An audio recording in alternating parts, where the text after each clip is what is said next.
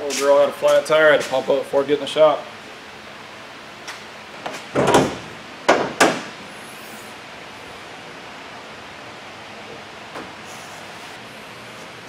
I don't exactly recall where we left off with this thing.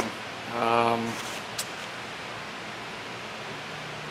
we'd done some lab scoping and realized that the engine was out of time and oil pressure is a problem on these engines. So if you lose oil pressure, you usually take out the top end. The camshaft's the last thing to get oil. Everything gets scored up. This engine runs quiet. Uh, for a pair of four cylinders, it runs good. Doesn't run good for a V8. It's not not in harmony. So off camera, I went ahead and checked the oil pressure, and this is a four-wheel drive. Very difficult to get to the oil pressure port, but we we have a Chevrolet dealership too on this property. It's Ford and Chevrolet. Imagine that.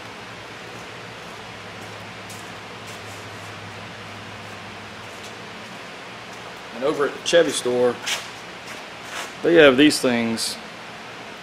I guess checking the oil pressure on a Chevy is next to impossible. So these these little Kent Moore tools, a couple different ones, and this just happens to fit the oil filter on this truck, FL820. It's perfect, perfect fit. So put my oil pressure gauge on there and ran it, and um, you know the owner said, you know, don't run the truck too long because the oil pressure light will come on. And I ran it for a long time. When I first started at cold, I had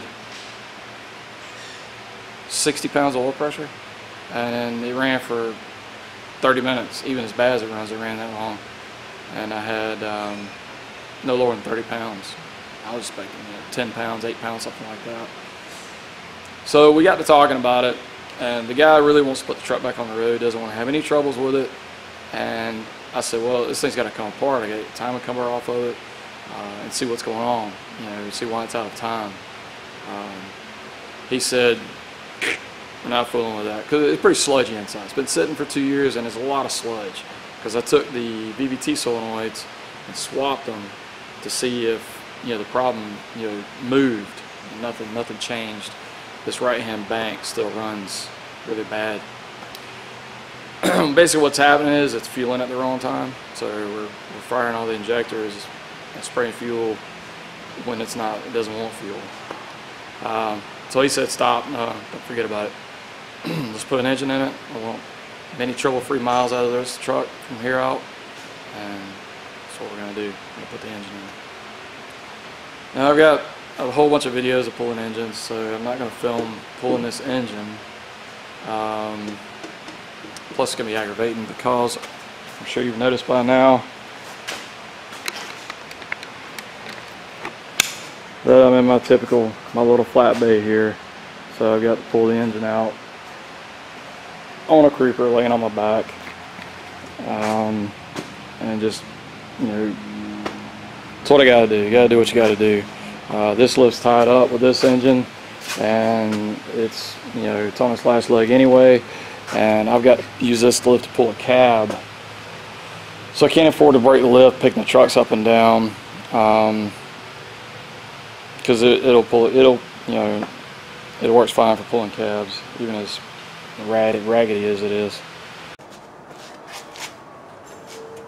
so I thought I had some footage of this truck and um, it was one of these deals where I just started on it before I got the camera out. I was gonna do a little backtracking. Um, I've looked high and low can't find it. So we're gonna do a lot of backtracking because um, I'm ready to replace the engine in this thing and um, we're getting ready to cross the point of no return.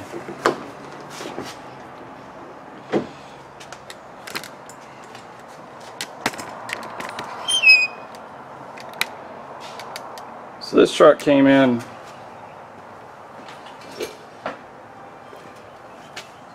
uh, let's see what was it doing uh, running runs really bad and uh, no power She's a real dog.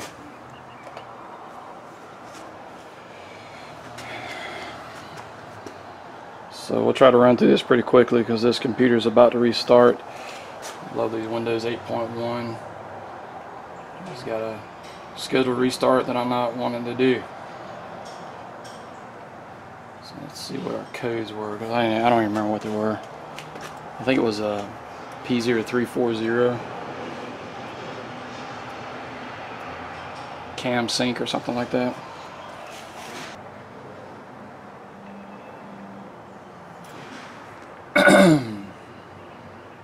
this was the biggest code. I've been doing a lot of work on this, so a lot of these other codes were set by me, but CMP circuit fault. Uh, so just briefly what I did was I did a power balance test and the entire right side was skipping which you know that's not an indicator of uh, you know a bad ignition coil or a spark plug or something like that I mean the whole bank's down um, but I did it uh, you know I went to the low extra mile pulled a spark plug out looked at it just moved the coil and you know made no difference whatsoever so if someone works on one of these engines and doesn't put it back together correctly, you can get, the general rule of thumb is let's say it's out of time, which is what I suspect on this engine. The general rule of thumb is uh, if it's one tooth off either bank, then it'll run off at idle and run fine going down the road. If it's two teeth off, it'll run like crap all the time. And if it's three teeth off, you bend stuff. So this one this one runs bad the whole time. So I got out the lab scope and I looked at the cam signals and they should be on top of each other and we're offset. So the right hand bank is is out of time. I swapped the VCT solenoids just to see what would happen because you know, I got a known going on the left side. No change, um, but the a lot of sludge in the engine. So that's where we're at. That's where we're going to pick up placing this engine.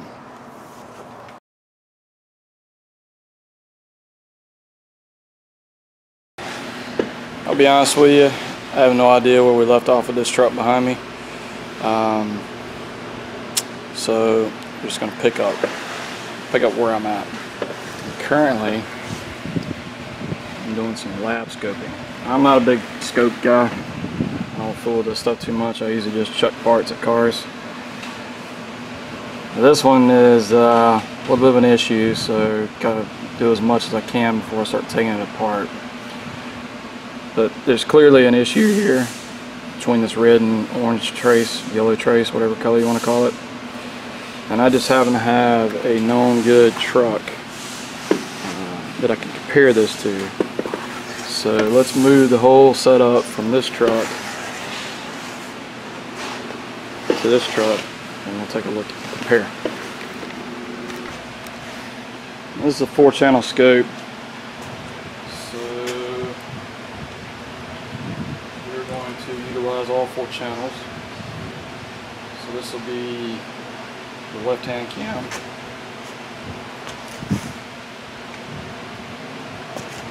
Channel 2. Channel 1 it was going to be the right hand cam.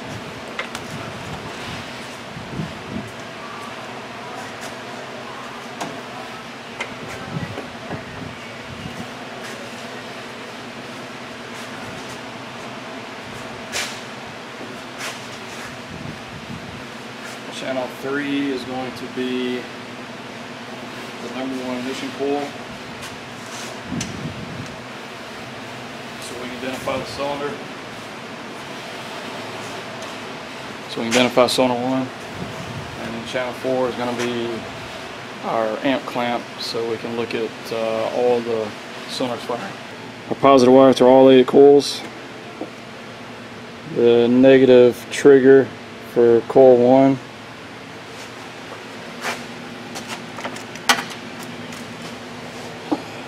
the uh,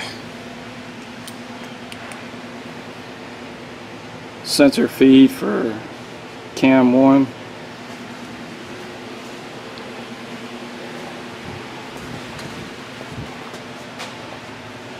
and the sensor signal for cam 2 signal back to the PCM and we'll uh, We'll fire this back up and see what it looks like.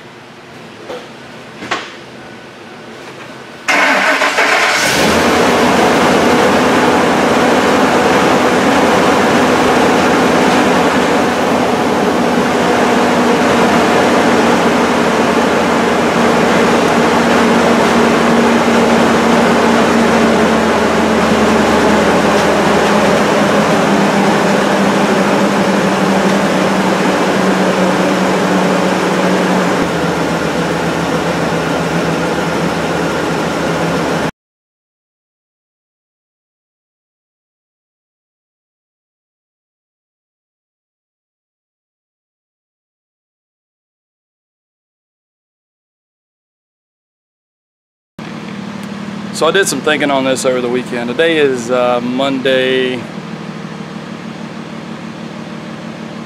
15th.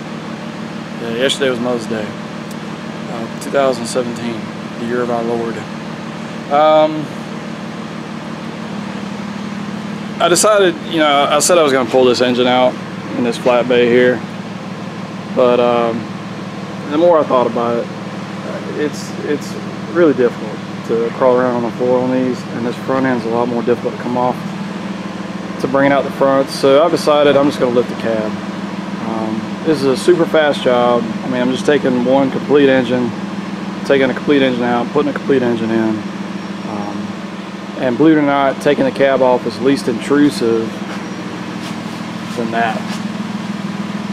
Now, on these models, you know, there's pros and cons to everything. Front end comes off real easy on these, but the body bolts are a pain in the neck. Whereas this one, uh, the front end is difficult to get off, but the body is really easy to get off of there. So, I'm gonna roll this forward into this bay and bring this around to the lift bay.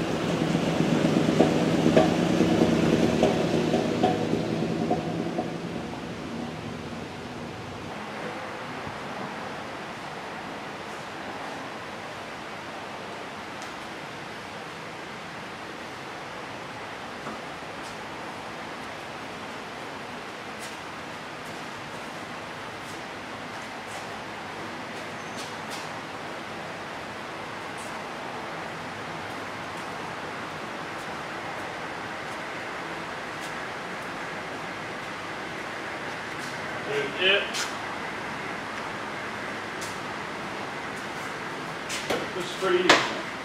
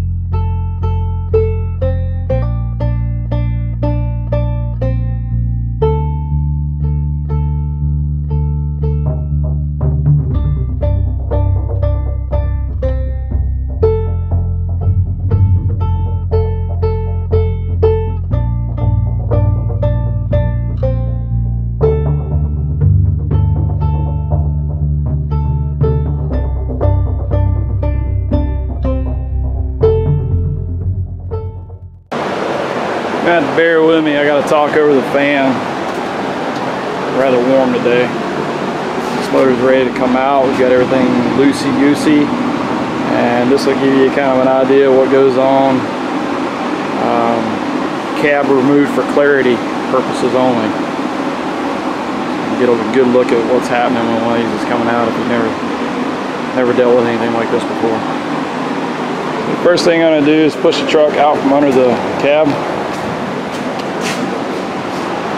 because the radiator will be really close to the boom and uh, difficult to work with so I'll just, I'll just roll it forward and then we'll start removing it.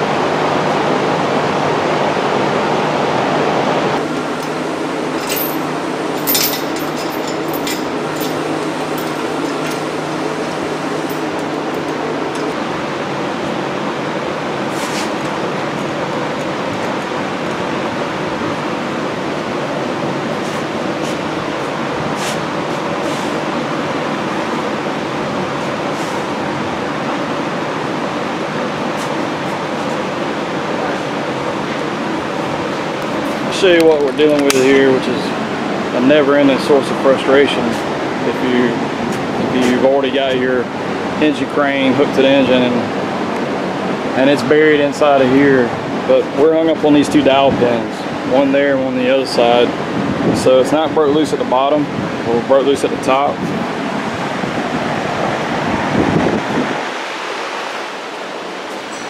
So basically what I've got to do is get this thing freed up before I can go any further. So I'm just taking a pry bar and gently, I don't want to break anything. This transmission is aluminum. Freeing it from the dowel pins. So that dowel pin's free now.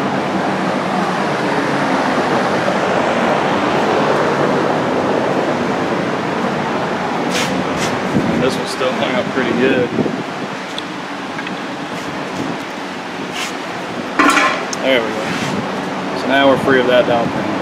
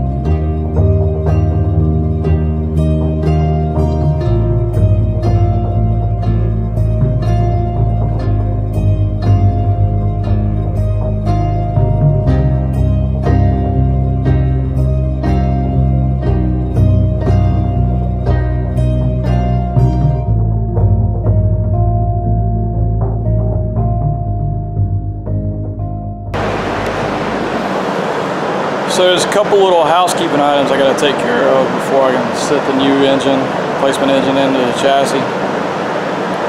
Uh, it makes for a, better job. Uh, the job, the longevity is greater. Don't have to worry about it coming back for something silly.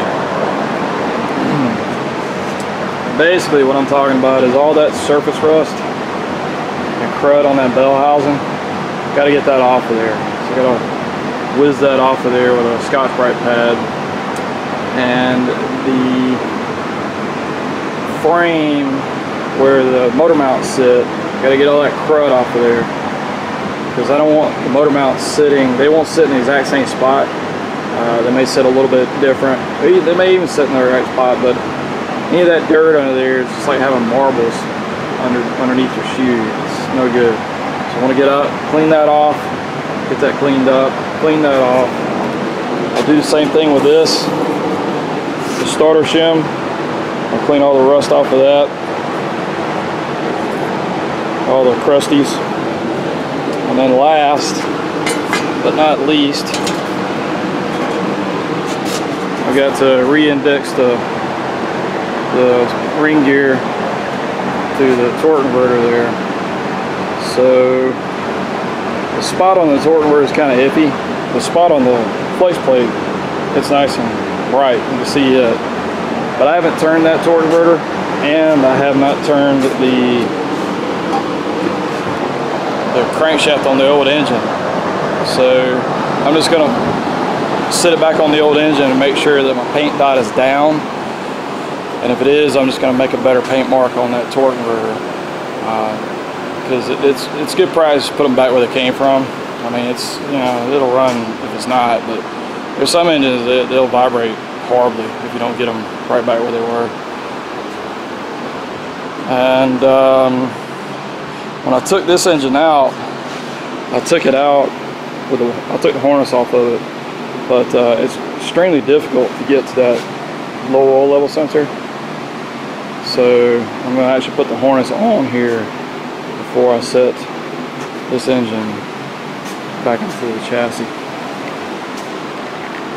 So we'll carry on, we'll uh, get that cleaned up, get everything swapped over and put it in.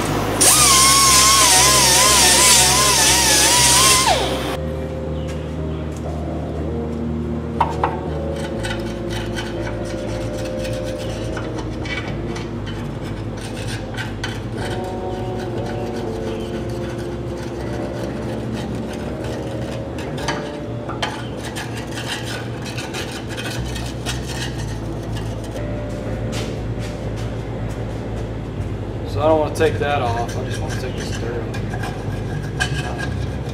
I want to take the undercoating off.